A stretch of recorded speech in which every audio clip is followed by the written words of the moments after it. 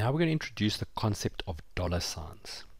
So just going back to the previous example you did, I just want to show you what the problem is and how this solves it. So if you remember we had our net profit here, we've got a tax rate, and when we built the calculation we said something to the effect of equals the net profit multiplied by the tax rate. Click enter. Now that's great and if you look at what it's looking at, it's looking here and here. But the way Excel works with copy is if I copy that and paste it one to the right, notice that it's now looking at D19, which is correct, the net profit for February. But it's actually no longer looking at the tax rate, it's moved one to the right. So what we'd have to do is now go in here and say, no, no, let's fix that and put it over here. But the problem is as you go across, you will continually have to go and say, oops, I need to fix that, so let's tell it to go look over here. So that's the problem when you do a copy. The way copy works is it looks at the formula, and if it looks like that, it says, okay, you've copied me to the right, I'm going to move C will become D, B will become C.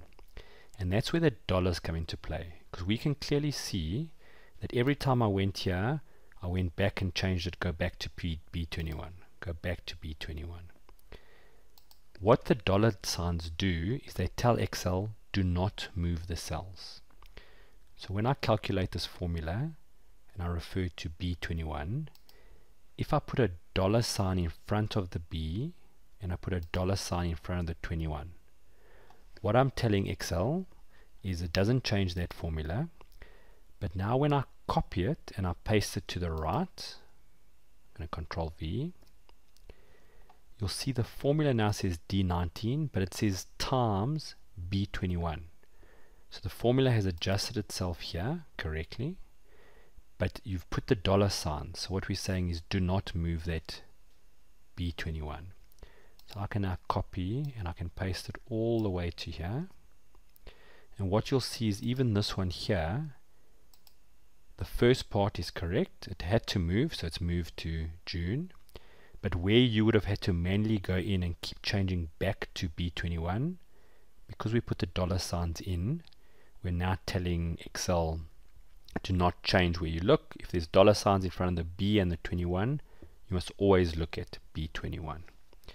This is going to be a very important concept and we're going to reteach it again and again and becomes as important in intermediate and advanced. So it's well worth getting a good understanding of it now.